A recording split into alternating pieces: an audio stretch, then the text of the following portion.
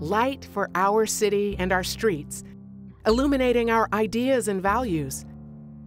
Starting in 2016, the San Francisco Public Utilities Commission is improving that light with new LEDs. Light emitting diodes provide better light for streets, better light for pedestrians.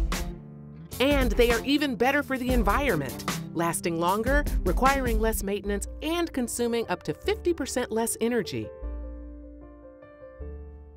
Upgrading takes roughly 30 minutes. Remove the old streetlight head, replace it with a new LED, then repeat 18,500 times. While our streetlights will be improving, the clean energy powering their luminance will remain the same.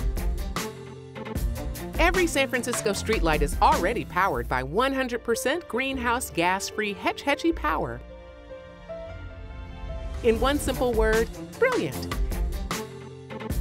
As day turns to night, our city will shine brighter than ever.